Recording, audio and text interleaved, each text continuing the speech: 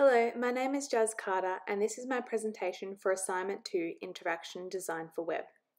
The website I'm designing is a women's activewear website. My website and company name is Jazzy. The branding of my website features a neutral tone colour palette that consists of cream, terracotta, brown and white. The typography for my website will feature ethnocentric regular for the headings in 20 points and Helvetica for the remainder of the body text in 16 points and 14 points for the smaller text. Sitemap and navigation. The sitemap navigation consists of a home page with collection, account, about, and cart. The collection menu will be a drop down menu. The account menu will take you to a login or register menu page. The About page will tell you all about Jazzy with an introduction page. And the cart will show you items that you've selected with a checkout option. Each page will have a footer that includes links to the About page, shipping, returns, FAQs, size guide, contact us, and social media.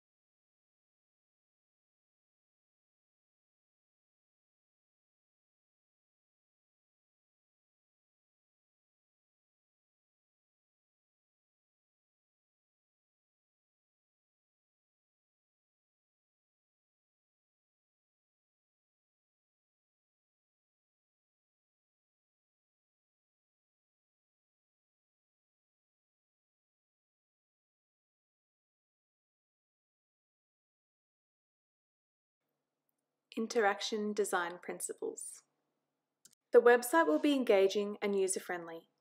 The website will look like an activewear website, featuring images that make you feel good and entice a good browsing experience. The website's colours are neutral, making the website navigation experience easy on the eye and ideal for a website background. The typography, icons, colours and scale will be consistent throughout each page. The website will be free from videos and pop-up links. The website's aim is to be functional and easy to navigate by keeping interactions simple and to the point, avoiding unnecessary clutter and overload.